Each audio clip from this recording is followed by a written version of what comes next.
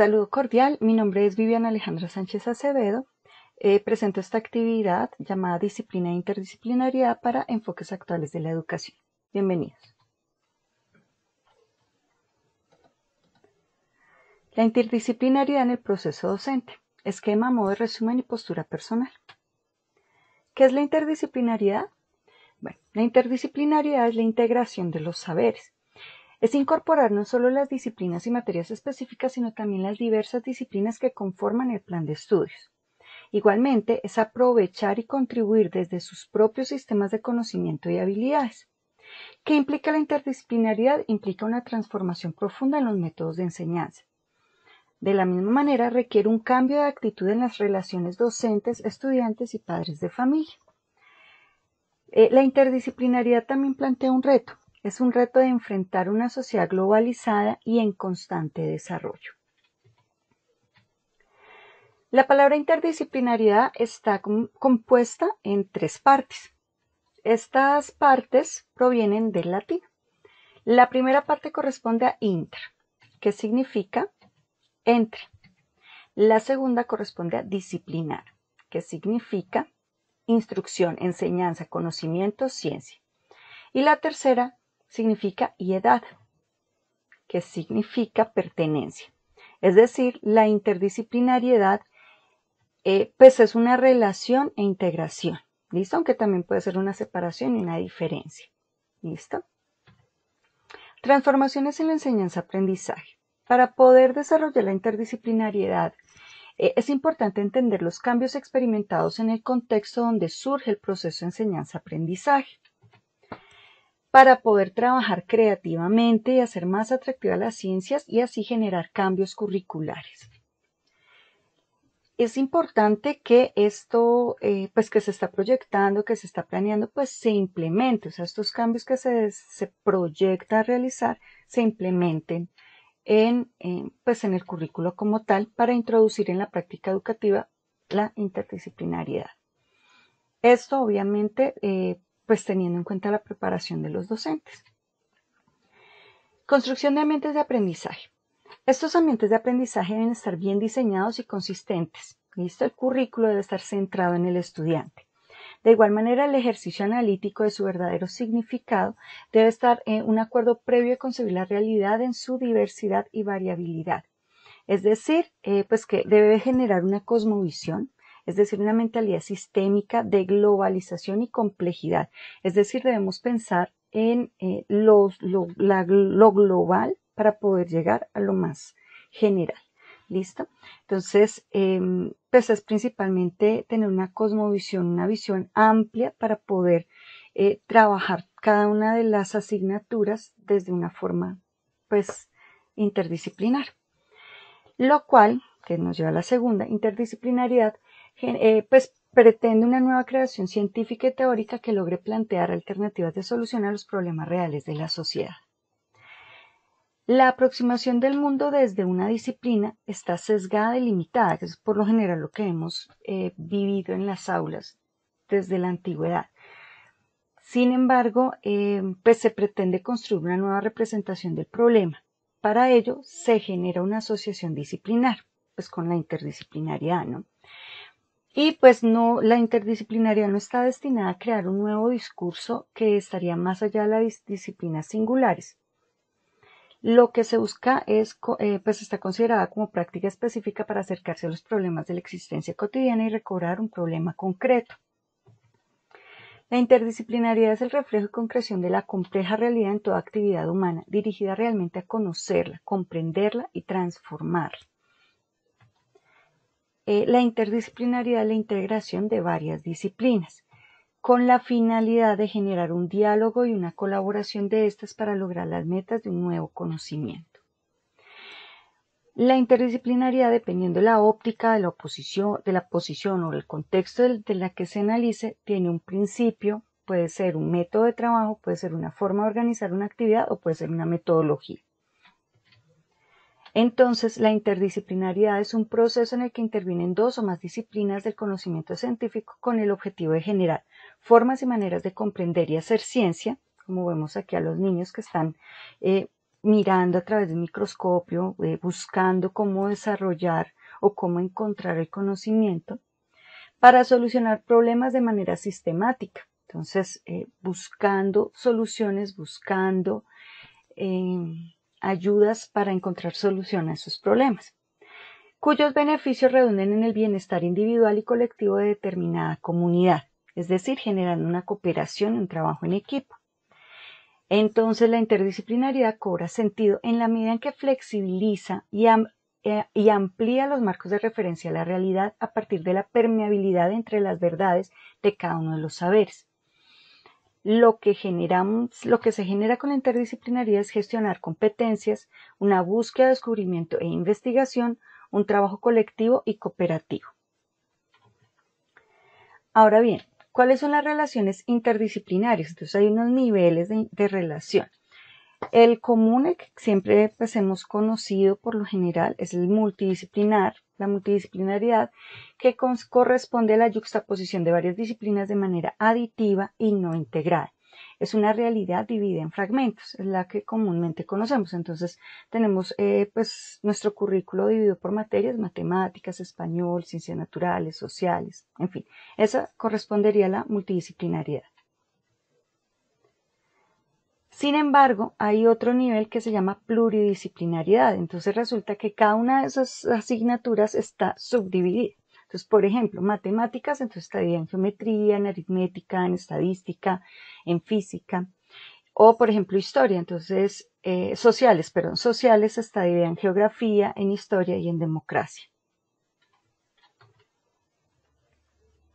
El siguiente nivel es la interdisciplinariedad. Es un intercambio recíproco entre dos o más disciplinas. Entonces, que intercambian contenido, método y procedimiento. La función es un sistema lógico y de secuencia necesaria en la cual se apoyan unos y otros. Y pues definitivamente se requiere el proceso docente para generar una teoría de integración de saberes. Y el nivel superior, el más alto en la pirámide, es la transdisciplinariedad que sobrepasa el plano de las relaciones entre tales disciplinas. Prioridad de una trascendencia, es una comprensión total del universo, eh, una unidad, única unidad del conocimiento. De acuerdo a Piaget, las investigaciones interdisciplinares deben provocar recombinaciones constructivas que superen las limitaciones que impiden el avance científico. Por ejemplo, la bioquímica, la bioética o la biotecnología.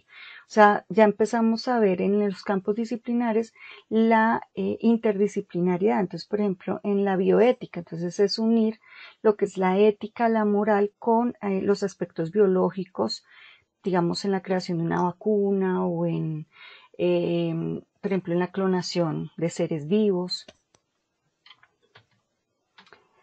Interdisciplinariedad en la enseñanza. Entonces, eh, hay unos fundamentos axiológicos, es decir, que la interdisciplinaria permite la formación de personas con mentes abiertas, flexibles, críticas, cooperativas, capaces de trabajar en equipo y ser solidarias. De igual manera, permite el desarrollo de competencias. Y pues dentro de los conceptos, el marco teórico y los procedimientos, eh, pues se generan unidades más globales, se hacen unas estructuras conceptuales y metodológicas compartidas por varias disciplinas. Ahora bien, la interdisciplinariedad en la enseñanza pretende abordar y estructurar las distintas disciplinas y contenidos hacia la globalización de los conocimientos desde un enfoque pedagógico opuesto a, los que organizan el conocimiento fabricado en parcelas. Mm, bueno, algo para como analizar y reflexionar. Antiguamente el conocimiento no estaba tan fragmentado como ahora, pero con, el pues, con la historia, con el el paso de los años eh, se genera un desarrollo de la ciencia y la tecnología, lo cual pues viene fragmentando cada vez más el conocimiento precisamente por la necesidad de especificidad en cada una de las, de las ciencias como tal. ¿Cuáles serían los pros y los contras de la interdisciplinaridad en la enseñanza? Los pros, bueno, una, una tarea integradora, es decir, que se va a generar trabajo en equipo, colaboración, cooperación. Eh, se va a generar un componente investigativo, práctica laboral, nuevamente trabajo en equipo, colaboración, cooperación, tareas complementarias de trabajo independiente o autónomo, desarrollo de competencias y habilidades. Para este punto, eh, bueno, en el libro eh, propuesto para la lectura dan un ejemplo de la enseñanza de la veterinaria, una persona que realizó un ejercicio de interdisciplinariedad para la enseñanza de la veterinaria en Cuba. Entonces subdividieron en zonas y a cada grupo de estudiantes también subdividieron para que atendieran cada una de las zonas.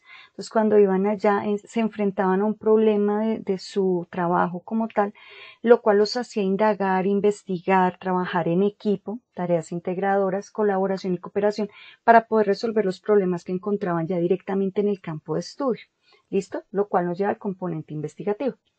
Ahora bien, eh, la práctica laboral, pues esta tiene que ver más que todo con el profesor, quien es el que envía eh, a hacer ese trabajo. Entonces el profesor pues les, les da una guía de trabajo pero eh, pues es, o sea, es la universidad la que complementa, la que genera todo el trabajo como tal.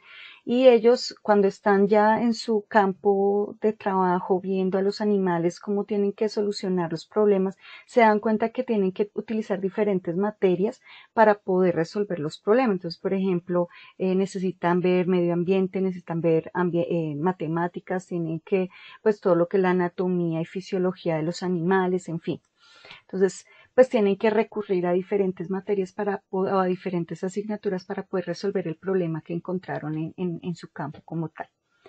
Y pues obviamente bajo esta premisa pues se generan unas tareas complementarias o de trabajo independiente o autónomo. Entonces eh, puede que ocurran ciertas situaciones alrededor de lo que ellos están aprendiendo que les genere aún más conocimientos.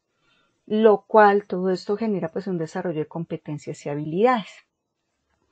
¿Cuáles serían los contras de la interdisciplinaria? Bueno, no se especifica la línea de trabajo desarrollar, lo que dificulta el diseño curricular. Entonces, a veces, eh, por ejemplo, el Ministerio de Educación nos brinda unas, unos lineamientos para trabajar no solamente por asignaturas, sino dentro de las asignaturas, cómo trabajar por grados y pues por, por niveles de competencia o por ciclos, bueno, en fin.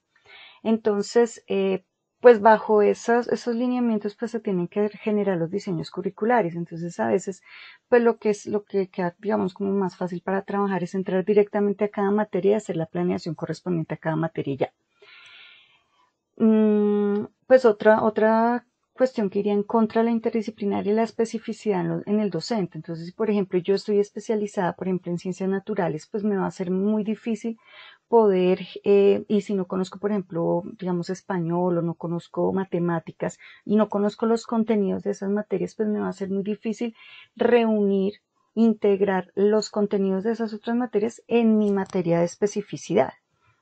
¿Listo? Entonces, pues que ahí pues es un poquito en contra de la interdisciplinaridad porque pues como docente de pronto no manejo ese tema.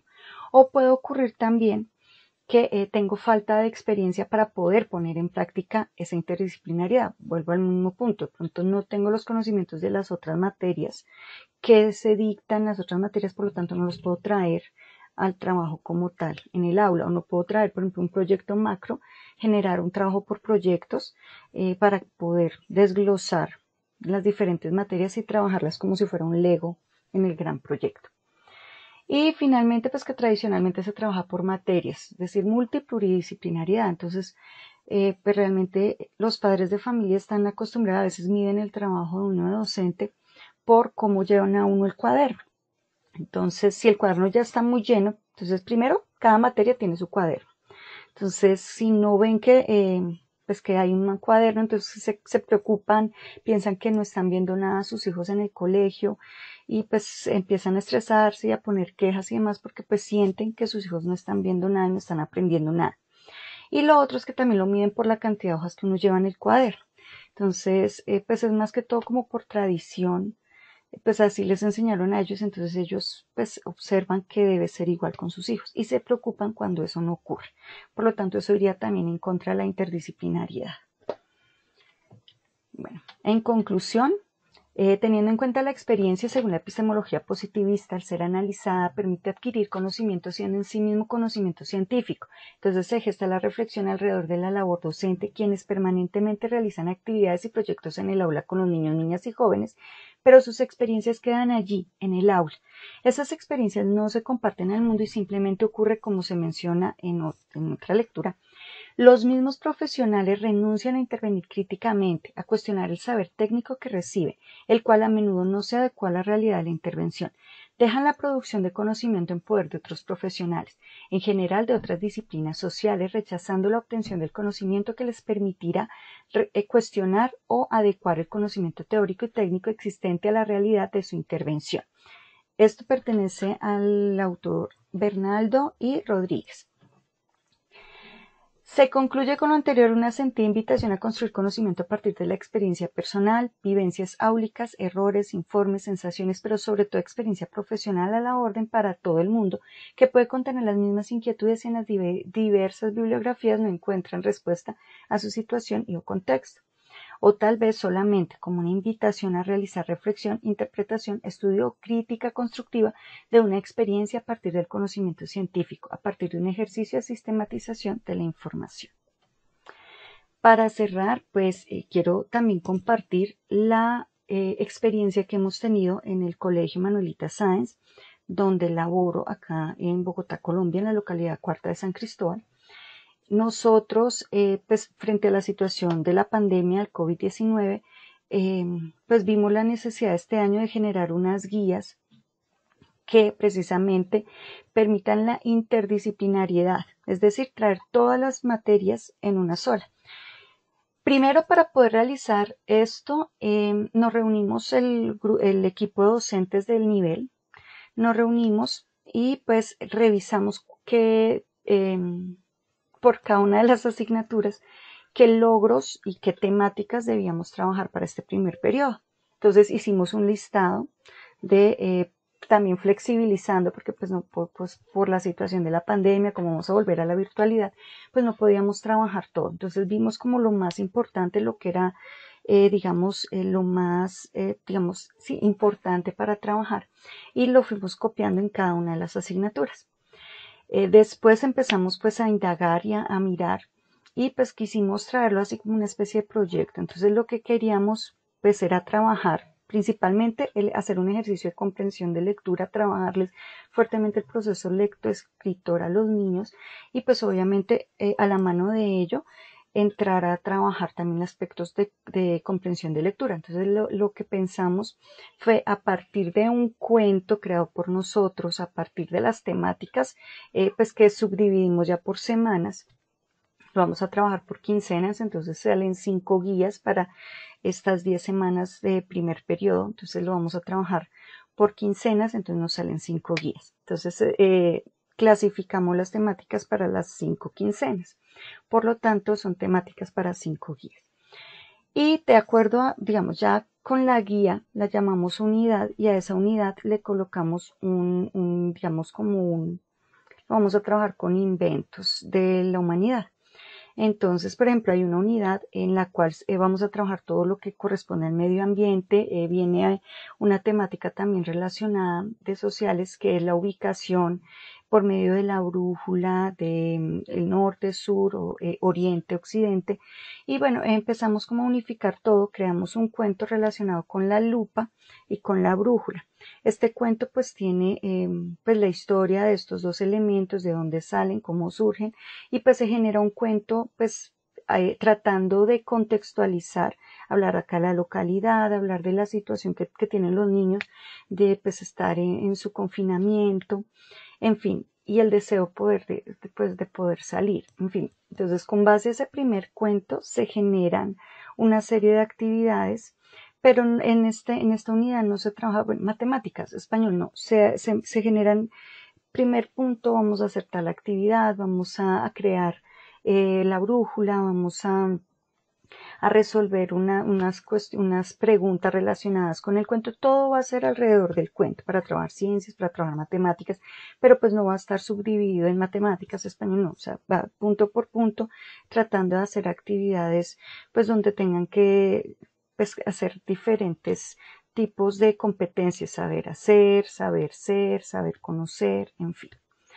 Em, Principalmente es una experiencia donde realmente es necesario el trabajo en equipo con los docentes para poder compartir las experiencias, para poder compartir los saberes y poder generar una unificación de criterios y pues como tal una unificación de saberes, lo cual pues, eh, pues se pretende llevar a los estudiantes y pues vamos a ver cómo nos va porque pues obviamente hay que explicarle a los padres de familia este ejercicio de interdisciplinaridad porque hay una alta posibilidad de acuerdo a la experiencia en años anteriores, que ellos eh, se van a afanar porque no ven los títulos de matemáticas, español, ciencias, entonces cómo van a calificar español cómo me van a calificar. Y pues entra uno también en la, en la dicotomía, bueno, y al finalizar el periodo, cómo voy a calificar cada una de las materias. Pero bueno, todo esto poco a poco en el, en el transcurso de las actividades y de la experiencia y con el marco teórico que se está trabajando, eh, se va a ir solucionando es cada uno de estos pros y estos contras. Las referencias bibliográficas de las cuales, eh, con las cuales me basé para construir este documento es Bernaldo de Quirós y Rodríguez, eh, año 2004. El libro se llama La sistematización como forma de producción de conocimiento científico desde una perspectiva no positivista. Es un artículo de la revista Confluencia, año 1, numeral 4. Tiene 17 páginas este artículo.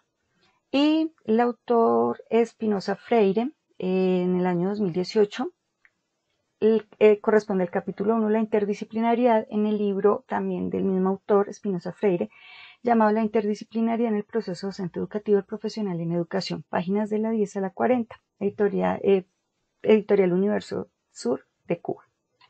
Feliz